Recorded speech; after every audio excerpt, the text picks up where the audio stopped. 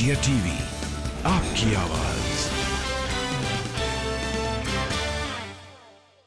देखिए, दुख की बात है कि जब पार्लियामेंट से एक एक्ट पास हुआ है तो ये सरकारें रेजोल्यूशन पास करके किसको बहकाना या धोखा देना चाह रही, ये तो सिर्फ़ पब्लिक को मिसलीड करने की बात है।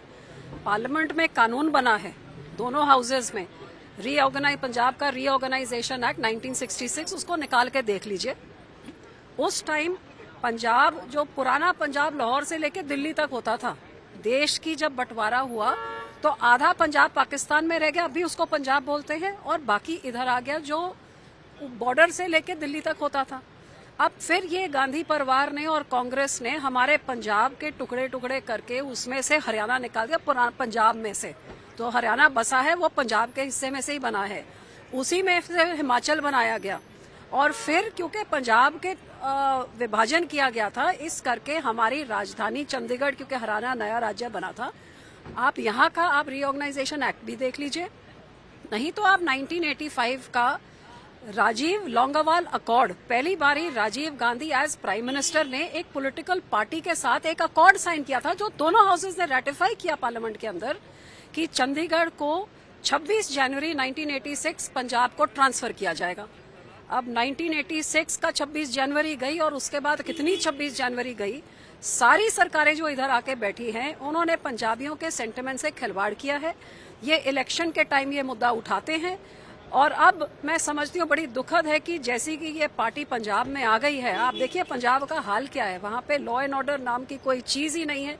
दिन दिहाड़े गोलियाँ चल रही हैं प्रेस को मजल किया जा रहा है। और हर तरीके के आप वहाँ सोच सकते हैं। कानून नाम की चीज़ कांग्रेस के समय नहीं थी तो अब यहाँ पे तो लोग कानून अपने हाथ में ही लेने लगे हैं। पता करिए वहाँ पे हो क्या रहा है।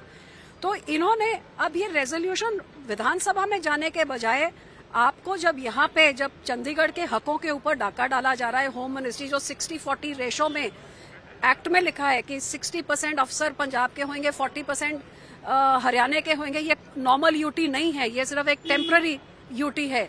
और इसके अलावा और बाहर से कोई अफसर आ नहीं सकता। तो जब ये सरकार आके सेंट्रल सर्विस रूल्स लागू कर रही है और यूटी का पूरा दर्जा ही जो हमारा वाला यू, आ, यूटी माना जाता है टेम्पररी उसको हटा के एक नॉर्मल यूटी बनाने का तो ये तो इधर आके कानून लड़ना था।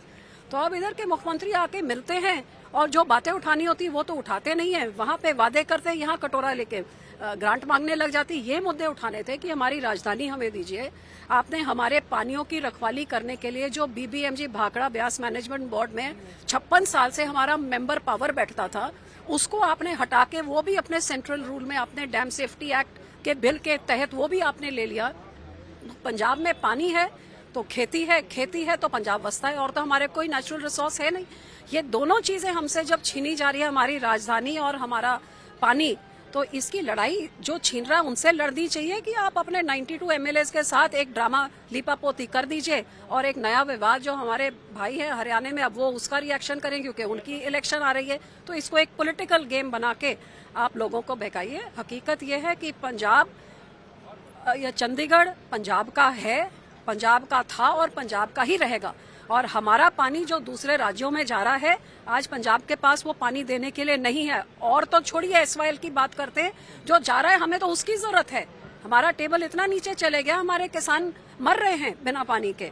सो so, ये चीज़ों आपको एक सीरियस और संजीदा तरीके से एक इसको लीगल तरीके से यहाँ पे आके सरकारों के साथ बात करने के कि आपको ड्रामा करना होता है उसके अंदर। तो बड़ा दुख की बात है कि इसको एक पोलिटिसाइज करके एक लोगों को भावनाओं को और भड़काया जा रहा है और उसका पॉलिटिकल लाभ लेने की ये दोनों पार्टियाँ कोशिश कर रही हैं।